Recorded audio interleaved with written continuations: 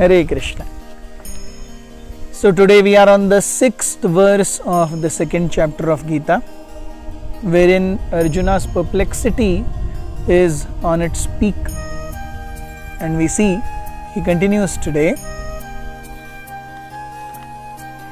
न चैतद्विद्मः कतरन्नो गरीयो यद्वा जयेम यदि वा न जयेयुः याने वहत्वान जिजीविषामस्ते प्रमुखे धार्त्र राष्ट्रा nor do we know which is better conquering them or being conquered by them if we kill the sons of Dhritarashtra we should not care to live yet they are now standing before us on the battle field So, Srila Prabhupada explains very beautifully that it is very natural for anyone to fight the propensity to fight, the propensity to prove oneself is inherent in this material world. Even small children, they also fight. Have we not seen? छोटे बच्चे भी मिठाई के लिए जो चाहिए उसके लिए खिलौनों के लिए झगड़ते हैं, रोते हैं। So the sense of fighting is very natural and to think that one can have a society where in there is no problem there is no rivalry there is no conflict this is utopian concept it does not exist Arjuna is forgetting this every one must act according to their स्वभाव according to one's nature Arjuna is trying to give up his nature, and that's why he is feeling, I don't want to fight. Arjuna says, even if I fight and I am victorious, what is the use of that victory? Because that victory also is a defeat in itself. हम अपने ही लोगों को मार करके राजा बनेंगे तो what kind of victory is it? Even that victory is tainted with blood. It's a defeat. So Krishna he says that no, it's not like this life is about duty. There is a beautiful instance, a very famous family, the Madhavrao Peshwa family. In their family, there is a beautiful instance. Madhavrao Peshwa, he left his body in 1770 somewhere in the late 18th century. And when Madhavrao Peshwa died, his brother uh, Raghunath Rao or I think it is Narayan Rao. Narayan Rao, Peshwa. He was minor. So Madhav Rao, he appointed his uncle Raghunath Rao as the heir apparent. Till them as a caretaker head. Raghunath Rao and his wife Anandi Bai, having greed for the kingdom, they practically murdered the younger brother of Madhav Rao, who was Narayan Rao.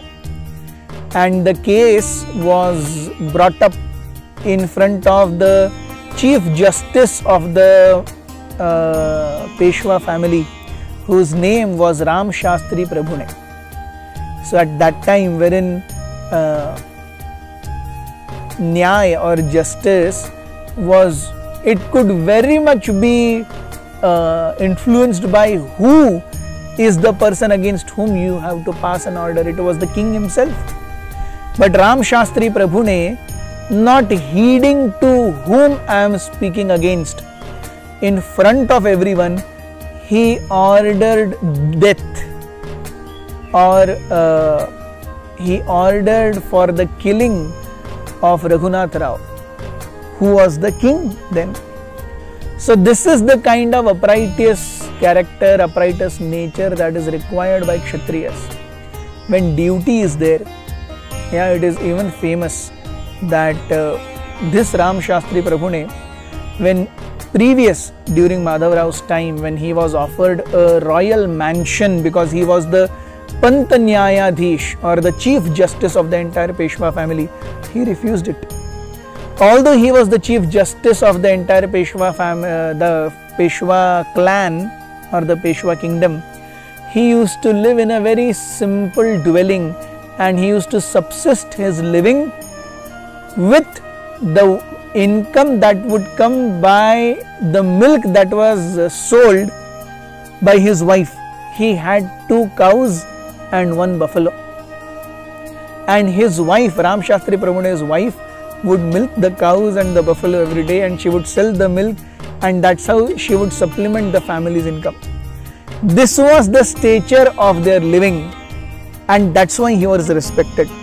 So, to this degree, people followed their dharma, and this is not far back, this is late 18th century, and we are talking of 5000 years back, Arjuna. So, Krishna says, My dear Arjuna, one just cannot give up one's duty, it just doesn't become you. We see during the battle of Kurukshetra also just before the onset of the battle Yudhishthir Maharaj very promptly he got up from his chariot he started walking towards the Kaurav army and everyone was like thinking what is he going to do? Is he going to make a compromise is he going to say that I will not fight you take the kingdom we will go in exile again but to everyone's dismay Yudhishthir Maharaj straight went up to Bhishma. He touched his feet and said, My dear grandsire, please tell us, how can you be killed? And Bhishma was so pleased with this. He said, My dear Yudhishthira, if you would not have asked, I would have never told you. But since now you have asked, at an appropriate time, I'll definitely tell you how I can be killed. So you see, this is how duties are carried out. Yudhishthir Maharaj did not hesitate to go and ask. Even Bhishma Pitama did not hesitate to reveal. This is the example with which Arjuna should function, but he is not able to function. And so, Krishna will get him to track by the Upadesh of Bhagavad Gita. Thank you very much. Please be with us. Hare Krishna.